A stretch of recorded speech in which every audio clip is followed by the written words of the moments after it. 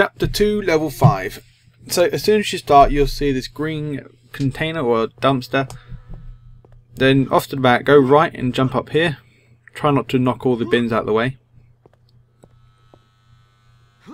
Here goes the safe bit to jump from. Jump over onto the lockers.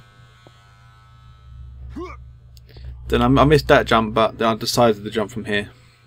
Don't jump, jump over to Daniel's secret. Moving on. Secret 2. So once you cross these uh, walkway, and you have to go back down again. Down the second set of stairs going down, you'll see like a um a lip off to the left side. Then just drop down into the uh, compartment area here. Okay, once you get to the top, you want to jump in or down onto the stage, then climb into the building to contain your secret.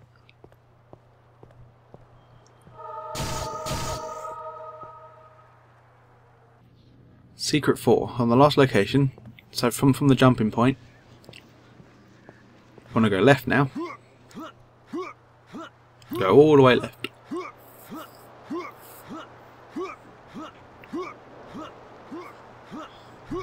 Then if you want to, there's some armor off to the left here, just going to show you right now. There's armor and there's life. But yeah, just keep going left. Or keep on going. Till you get to the very end. Then you want to look down and drop onto the wooden platform. Then drop down again to contain your secret area.